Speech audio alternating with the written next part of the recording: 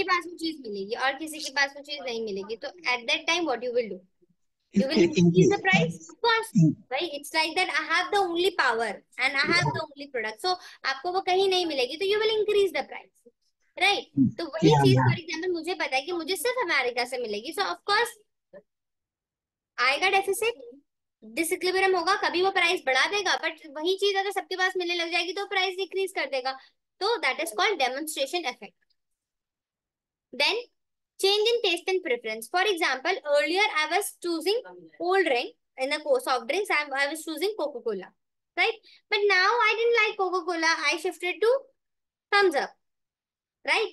तो क्या हुआ earlier I was importing it Thums Up मेरी कंट्री में बनती है और कोको कोला बाहर से आती है फॉर एग्ज़ाम्पल तो पहले मैं क्या करी थी थम बाहर से ले रही थी because I like that but now अब मुझे नहीं पसंद। मैं अपनी कंट्री का कंट्री में जो बन रहा है वही ले रही हूँ। तो तब भी इक्विलिब्रियम आता है अगर सडनली लोगों के टेस्ट एंड प्रेफरेंसेस चेंज हो जाते हैं तो एक्सपोर्ट और इंपोर्ट में बहुत ज़्यादा फ़र्क पड़ता है। और इसकी वजह से भी क्या होता है डिसइक्विलिब्रियम होता है। Then cross border prejudice there may be forced countries to have expensive import and this. कभी कभी क्या होता है कंट्रीज़ टैक्सेस लगाती है। अगर आप मेरी कंट्री से लोगे तो you have to pay this much tax right तो अगर मुझे पता है कि मुझे ये सामान अगर मैं अमेरिका से लूँगी, मुझे थाउज़ेंड रुपीज़ टैक्स देना है और सेम सामान अगर मैं चाइना से लूँगी, मुझे हंड्रेड रुपीज़ टैक्स लेना है। तो ऑफकोर्स मैं चाइना से लूँगी, वहाँ से क्यों लूँगी? राइट तो जो प्रेजुडिस होते जो क्रॉस अभी मेरा चाइना से अच्छा रिश्ता नहीं है तो मैं वहाँ से नहीं खरीदूँगी। इम्पोर्ट में महँगी कर दूँगी एक्सपोर्ट भी महँगी कर दूँगी सब कुछ। तो इसकी वजह से भी क्या होता है? बीओपी ऊपर नीचे होता रहता है। अब क्वेश्चन आता है मैम, ठीक है, आपने मुझे बता दिया कि डिसइक्विलिब्रियम ऐसे ऐसे होता है, लेकिन अगर आप इसको ठीक करना चाहते हो तो क्या होगा? पहले बात एक्सपोर्ट बढ़ाओ, ज़्यादा से सामान बाहर भेजो, अपनी करेंसी की वैल्यू डीवैल्यूएट करो, क्योंकि आपकी करेंसी अगर सस्ती होगी तो बाहर वाले लोग आएँगे, खरीदेंगे राइट इन्फ्लेशन अपनी कंट्री में इन्फ्लेशन कम करो इम्पोर्ट की सब्सटीट्यूशन लाइक फॉर एग्ज़ाम्पल अगर आपके पास कोको कोला है तो उसके पास आपके पास सब्सटीट्यूशन होने चाहिए, ये सारी चीज़ें आप करो तभी आप डिसइक्विलिब्रियम जो डेफिसिट है उसको हटा सकते क्लियर? सो so, अब आप लिखोगे yes, ऐसे नोट्स बनाने पहले लिखोगे सी सोशल फैक्टर ये लिखोगे फिर उसके बाद अलग से हेडिंग बनाओ।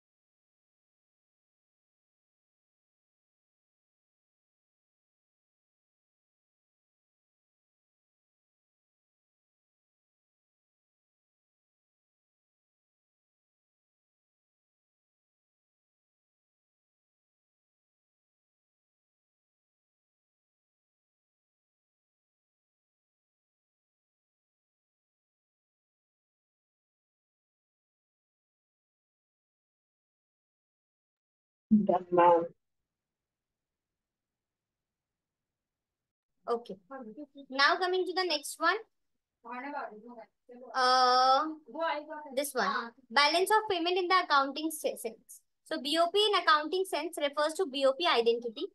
That is equality of total receipt.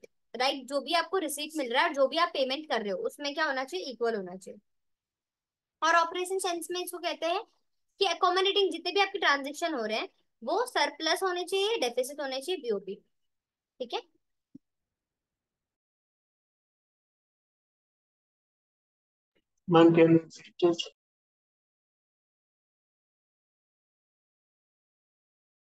Okay अब देखो अकाउंटिंग सेंस में अगर हम बोलते हैं तो हम बोलते हैं कि कितना पैसा आया और कितना पैसा गया ठीक है? लेकिन अगर ऑपरेशन सेंस में देखा जाए तो इसका मतलब ये होता है कि कितने पैसे आपने अंडरटेक करे और सर कितने ज़्यादा थे कितने कम थे। इसको देखा जाता है। तो ऑपरेशन में सीधे आप ये नहीं बताओगे, आप ये सीधे बताओगे कि डेफिसिट था, उसमें आप ये नहीं देखते कि कितना आया, कितना गया। सीधे एक टर्म यूज़ करते हो सरप्लस है या डेफिसिट है। लेकिन जब आप अकाउंट कर रहे हो, जब आप कैलकुलेट कर रहे हो, तब तो आपको यही देखना पड़ेगा ना कितना पैसा आया और कितना पैसा गया। तो ये फ़र्क है। ऑपरेशन में सिर्फ़ बताया जाता है कि सरप्लस है या डेफिसिट है। लेकिन बीओपी में पूरा देखा जाता है कि कितना पैसा आया, कितना पैसा गया, तब जाके पता चलता है कि बीओपी सरप्लस है या डेफिसिट है।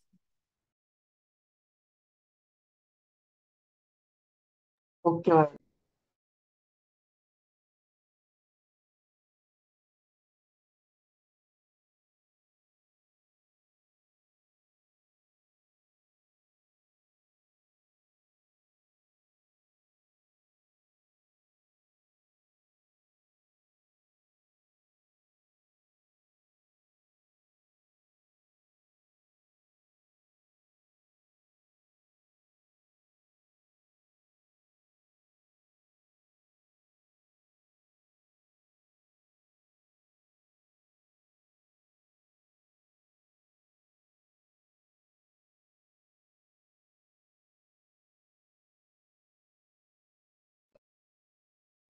Well, I have to write? Yes.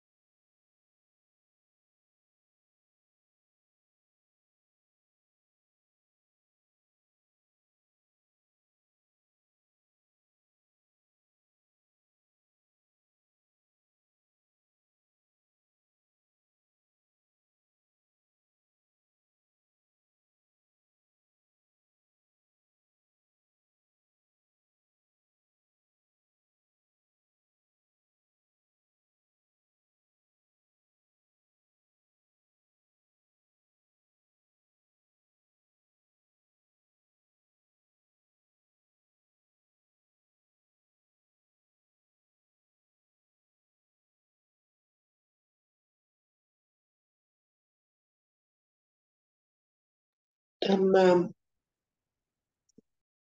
Okay. Now there are few questions, Vivek. Okay. That you will just give it a reading. Okay, from the screen. Fine. And let me know if you didn't get anything. These are the previous year questions. Okay, I've just pasted it like this. Okay.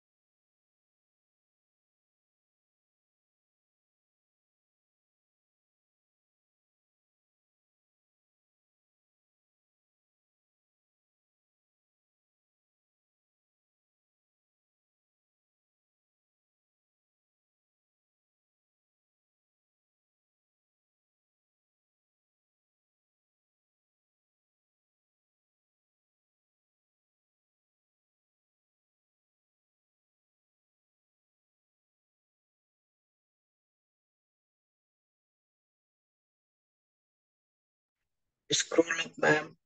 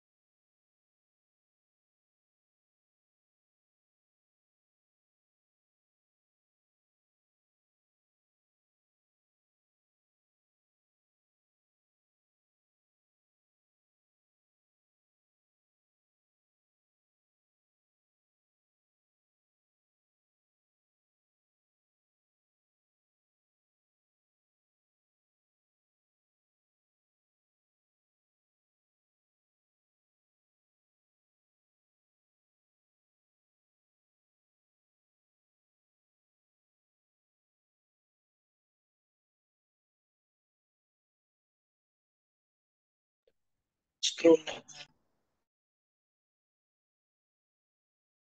Done? Uh, next.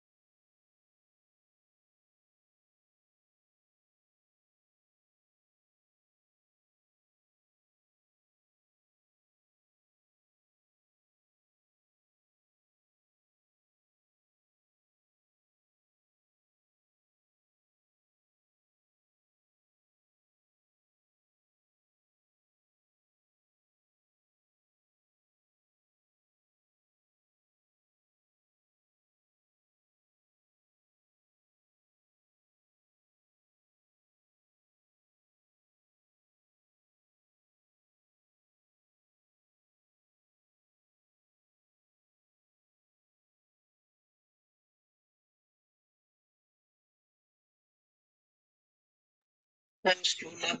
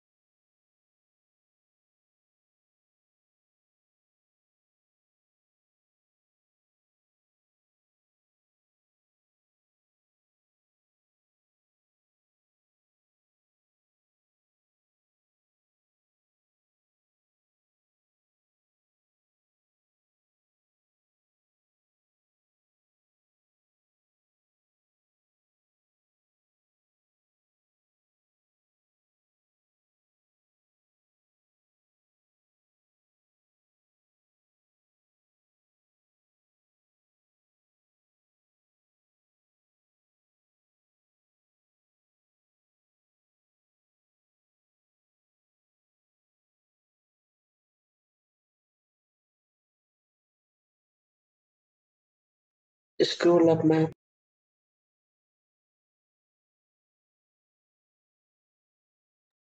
Scroll up, ma'am.